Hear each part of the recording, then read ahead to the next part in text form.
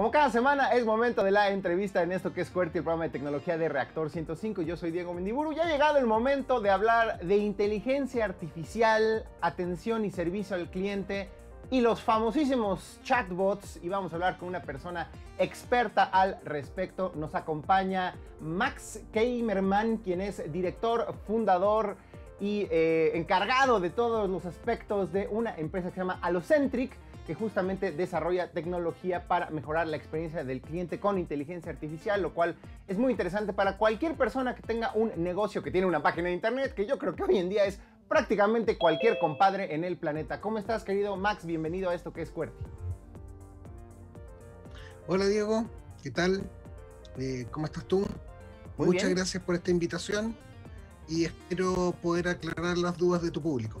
Claro que sí, Max. A ver, comencemos por lo básico y fundamental y es, hoy en día, prácticamente cualquier persona que tiene un asunto que quiere resolver con una marca, con una empresa relacionada a servicio de cliente, garantías, preguntas de su producto o servicio, casi, casi que siempre se va a enfrentar a un chatbot, a una inteligencia artificial que le va a atender, le va a responder y va a interactuar con ella, o me equivoco? Es decir, ¿se han democratizado los chatbots? ¿Estoy en lo correcto? Sí, no. Em, yo concuerdo contigo que los chatbots como expresión de o como herramienta de uso para atender clientes se han popularizado. Eh, cada día te los encuentras más. No estoy tan de acuerdo con el uso del término inteligencia artificial para referirse a un chatbot. Creo que son bien estúpidos, la verdad, la mayoría de ellos. Eh, pero sin duda estamos trabajando algunos en ponerle mucha inteligencia a ese proceso y en determinar, en realidad, cuando tú te atiendes, cuál es el equilibrio adecuado entre las tareas que puede hacer una herramienta automatizada para responderte y cuáles son aquellas en, las cuales tú necesitas un ser humano detrás que te responda preguntas elaboradas, digamos. Claro.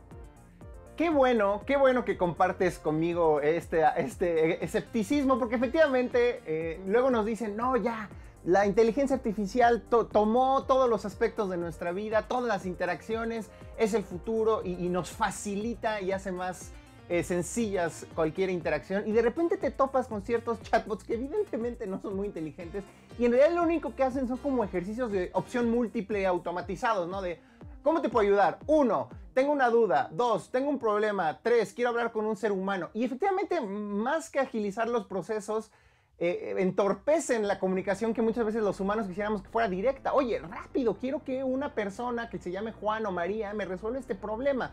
¿Por qué sucede esto?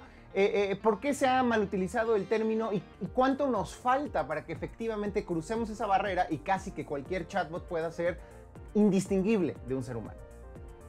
Espero que nunca crucemos esa barrera. Pero, a ver, voy a dividir tu, pregunta en tres. Digamos, hay, hay, una primera pregunta muy interesante que es, ¿qué labores debe y puede hacer un chatbot razonablemente bien y para cuáles es completamente inoperante y perjudica la calidad de la experiencia que yo tengo.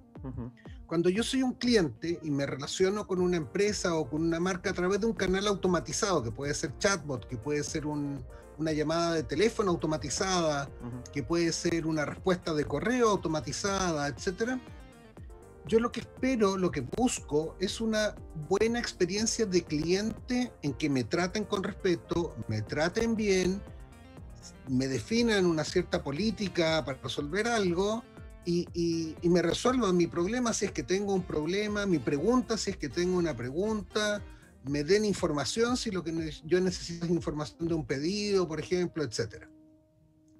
Entonces el problema interesante es saber para cuál de esas tareas las herramientas de, de inteligencia artificial funcionan bien y para cuál no funcionan ni mejor ni lo intentes, digamos.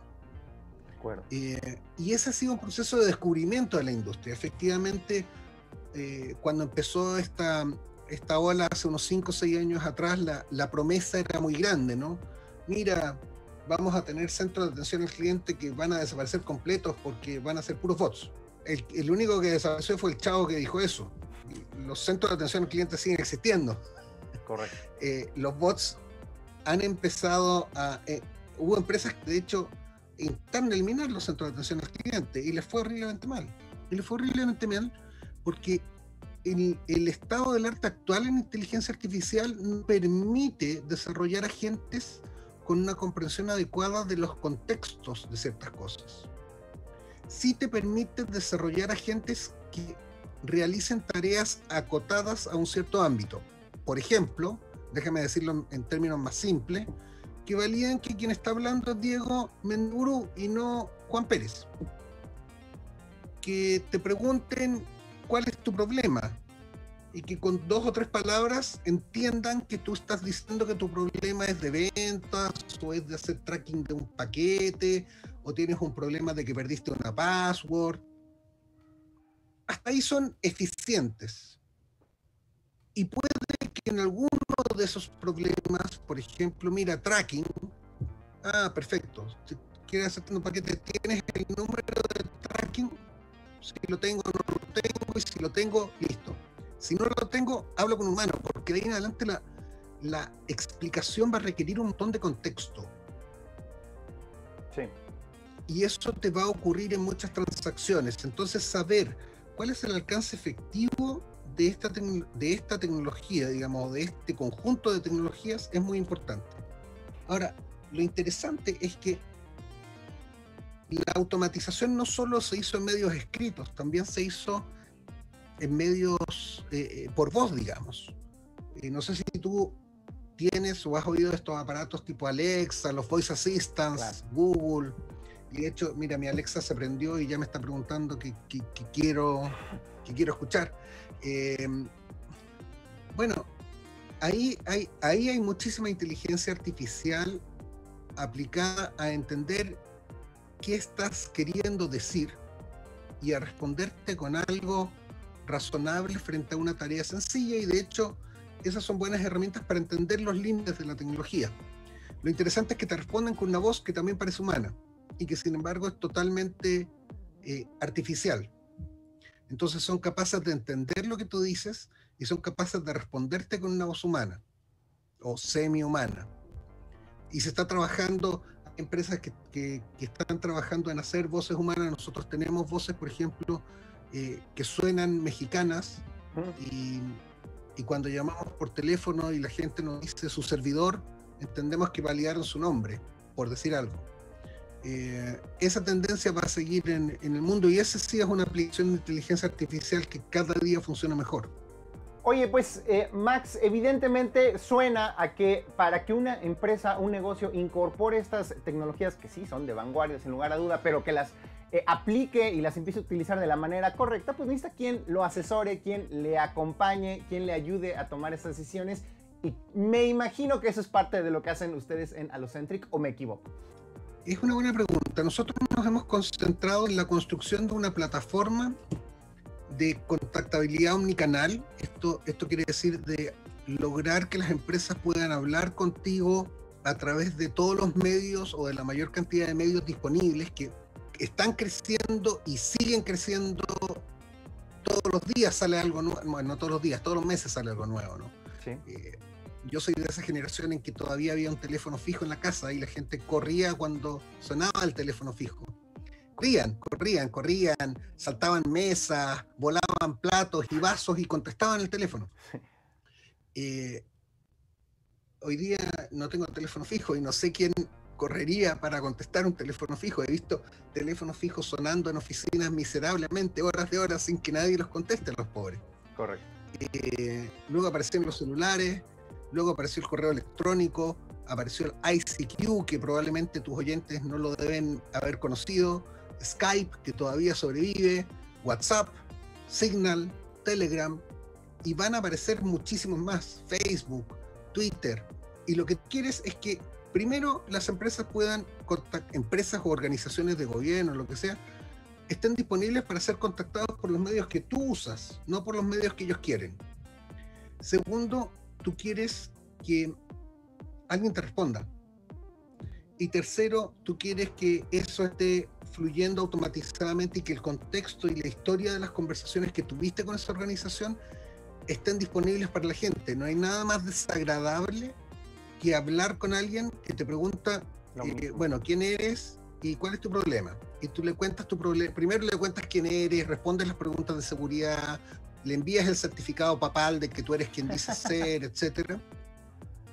Y después de eso, le explicas tu problema, te demoras, le das todos los detalles, mire, lo que pasa es que yo entré por la puerta y justo mi mamá y mi tía y mi abuela y me dijeron tal cosa. Estás 40 minutos explicando todo tu problema y la gente te dice, mm, ¿sabe qué? Yo no lo puedo ayudar, pero le voy a transferir con una persona que sí le puede ayudar. Correcto. Ah, fantástico, uno está contento ahí, ¿no? Estás contento, estás alegre, finalmente te van a transferir con alguien que te puede ayudar. ¡Qué maravilla! Y adivina que te pregunta el chavo ese. Te otra vez las mismas preguntas. ¿Quién eres? ¿Quién habló? ¿Cuál es su número de, servicio? Etcétera. Exacto. Y el certificado papá no lo tiene. Correcto. ok. Y, y después de que te validaron la identidad por segunda vez, ¿cuál es su problema? ¿En qué lo puedo ayudar? Y, toda esa letanía, toda esa historia que tú sacaste de adentro del alma con todos tus problemas, está olvidada en la organización. Nosotros nos concentramos en producir una plataforma que resuelve esos problemas, automatiza lo que se puede automatizar, maneja los contextos de conversación en todos los canales de manera tal que la organización sabe cuando habla con Diego Mendiburu por qué Diego quiere contactar a la compañía, qué habló antes con alguien, si lo hizo por voz, está transcrito a texto, si lo escribiste en Twitter, ahí está, y además lo, hicimos con un modelo de negocio basado en precio por uso porque creemos que la única forma en, en los años que viene de que una plataforma crezca y madure y funcione es que sea democrática. Y democrática significa que se pague por lo que se use. De manera tal que las empresas, empresas pequeñas, por ejemplo, puedan utilizarla para competir con todos los atributos como si fuesen una gran empresa, digamos. Me robaste la pregunta, lo explicaste muy bien. Te iba a preguntar yo si, si estas tecnologías de vanguardia, insisto que sí lo son, pues sí, son solo para las gran, los grandes corporativos, las líneas aéreas que atienden a miles de personas todos los días, o si un pequeño negocio, y que creo que es el punto, ¿no? Justo por la pandemia, miles de pequeños negocios familiares de, diseñadores de moda locales, diseñadores de, de, barrio que están vendiendo sus productos en otras plataformas, pues se vieron obligados eso, a tener una mayor presencia en línea y podría para muchos de ellos que nos están escuchando ver como demasiado futurista este el tema de automatizar procesos de atención al cliente, pero justo lo que nos está diciendo es sí se puede, no importando de qué tamaño sea tu negocio ni de qué sea el negocio, puede ser comida a domicilio casera. O sea, nosotros, mira, tenemos experiencia en salud, tenemos experiencia con líneas aéreas, pero también tenemos experiencias en retailers chicos y grandes, en call centers pequeños y grandes, con bancos, pero también con pequeñas empresas de factoring, que es un, negocio de comprar y vender facturas para anticipar dineros. Tenemos experiencias con, con pequeñas, con, con, con, carriers de telecomunicaciones gigantescos como Telefónica, pero también con una empresita chica que se llama Binet, que tiene 5.000 suscriptores de Internet en un pueblo perdido en el sur de Chile llamado Melipilla. Em, estas tecnologías permiten que pequeños negocios y empresas medianas compitan de igual a igual con empresas grandes en términos de funcionalidad sin tener que embarcarse en compras de licencias o de hardware o de equipos que les signifiquen desembolsar capital, capital que no tienen. De acuerdo. Y yo creo que en el futuro todas las empresas van a funcionar así. La tecnología camina a su inevitable democratización. Oye, ya para, para ir cerrando, pues cuéntanos este aspecto fundamental eh, que detrás de estas tecnologías, que es el tema de la inteligencia artificial eh, más o menos, ¿cuáles son las perspectivas que tienen ustedes en Allocentric al, respecto? ¿Cómo va a acelerarse la penetración de esta tecnología en general en todos los aspectos de la, vida cotidiana? Y pues el debate clásico, tú decías, espero que nunca llegue la inteligencia artificial a ser eh, tan indistinguible de un humano o, que la gente no sepa darse cuenta si que está hablando con un robot. Cuéntanos un poco desde tu perspectiva muy personal, eh, ¿qué nos depara el mundo con la inteligencia artificial? Bueno, nosotros cuando partimos nuestra compañía la partimos con la idea de incorporar inteligencia artificial en, distintos aspectos del, proceso de contactabilidad. Hoy día usamos em, herramientas de inteligencia artificial para producir voces humanas o que suenen humanas con acentos localizados en cada país. Así les ahorro a mis amigos mexicanos el dolor de escuchar un acento como el mío que no me lo he podido sacar ni con cirujano. Em, entonces tiene una voz melodiosa de mujer que, que habla con un acento mexicano. Hay inteligencia artificial aplicada en transcribir a texto el habla con acento mexicano del español. Hay inteligencia artificial en los procesos de discado. Hay inteligencia artificial en los procesos de construcción de los diálogos. Hay inteligencia artificial para, por ejemplo, detectar cuando nuestros robots están hablando con un buzón de voz para que no se queden hablando con el buzón de voz horas y horas. los robots deben ser las únicas criaturas que se pueden entretener hablando con un buzón de voz. Em, y eh, estamos ahora desarrollando un, producto de, análisis de calidad de la conversación que también incorpora inteligencia artificial y lo que estamos haciendo nosotros, probablemente hay muchas otras compañías que lo están haciendo, que es básicamente incorporar estas pequeñas herramientas de software que permiten ir aprendiendo sobre ámbitos muy restringidos de aplicación, de manera tal que cada vez mejoran un poquito. Y déjame explicarte eso con un ejemplo. Nosotros, nuestro primer cliente fue un banco, que partió con una campaña en que le quería notificar a sus clientes que podían ir a retirar una nueva tarjeta de crédito, porque el plástico anterior quedaba tecnológicamente obsoleto. Entonces había que comunicarse con un millón de clientes mm. en menos de un mes y coordinar que fueran a ciertas sucursales a retirar su producto. Cuando partimos la campaña, teníamos un porcentaje de falla en las pruebas del orden de un 30%. O sea, 30% de las veces alguna palabra se entendía mal. Cuando terminamos la campaña, un mes después, nuestro error era un 2%. Wow. ¿Por qué? Porque la máquina entendía o aprendió cómo el, eh, digamos, la, curva de la voz eh, se ajustaba a las letras de las palabras que tú querías decir. Entonces aprendió, eh, eso dicho complicado, dicho en simple, aprendió a reconocer si, no, yo soy él, si no soy él, etc eso es tremendo, pero eso se aplica solo a ámbitos restringidos de uso. Eh, por ejemplo, nuestra herramienta, cuando tú le dices que eres Diego Mendiburu, sí, soy yo, él no entiende ni qué significa sí, ni qué significa soy yo, ni quién es Diego Mendiburu. Él solo escuchó unas frecuencias de audio y entendió que quería decir S e. Sí, soy yo el significado de eso no lo entiende y no lo va a entender nunca.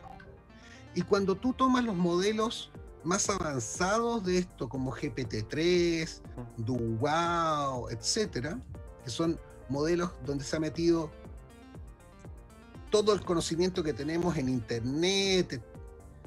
De nuevo, son modelos tontos que a veces logran producir predicciones de texto que tienen algún sentido, pero muchas otras veces producen algo que no tiene ningún sentido. Y si tú a un programa como AlphaFold, por ejemplo, que es lo, último que salió en modelamiento de proteínas, le metes datos que no son proteínas, no, entiende que no, es, no entiende el contexto, no, no es inteligente. Por lo tanto, estas herramientas tienen un ámbito de aplicación que es ultra restringido la idea de que podamos llegar a, lo que en, el campo se conoce como inteligencia artificial generalizada, o sea, reproducir de alguna manera las características humanas de la inteligencia, está absolutamente fuera del ámbito de la frontera del conocimiento hoy día. Y es algo que está continuamente repensándose, porque además, la verdad, todavía no sabemos muy bien definir qué es inteligencia. Mm. No, no, voy a dar ejemplos polémicos, pero, pero a veces uno, no sé, prende el televisor y escuchas a algún político y dices, yo no sé si hay inteligencia ahí. Eh, de acuerdo, de acuerdo. Muy bien, Max, muchísimas gracias en verdad por, por explicarnos un poco el estado del arte, como dicen los gringos, de este tema de la inteligencia artificial y en general sobre cómo Allocentric puede ayudar a los negocios a mejorar su atención al cliente. Si alguien quiere justo acercarse con ustedes, aprender más de inteligencia artificial y hacerte alguna pregunta más complicada de las que te hice hoy, Max, ¿cómo se pueden comunicar contigo y con tu empresa? Entrar a nuestra página web www.allocentric.com. Ahí hay bastantes artículos de, e información sobre aplicación de nuestra tecnología y tecnología de otras empresas en el ámbito de atención a clientes, en el ámbito de procesamiento de lenguaje natural. Em, también pueden contactarnos a través de LinkedIn. Em, bueno, y en la página web están los teléfonos y, direcciones de correo de nuestros encargados de cada país. Tenemos un country manager en México. Em, basado en el, en el DF, Pablo Gómez, que lo pueden encontrar en, en la página de la compañía y está su correo y se pueden comunicar con él.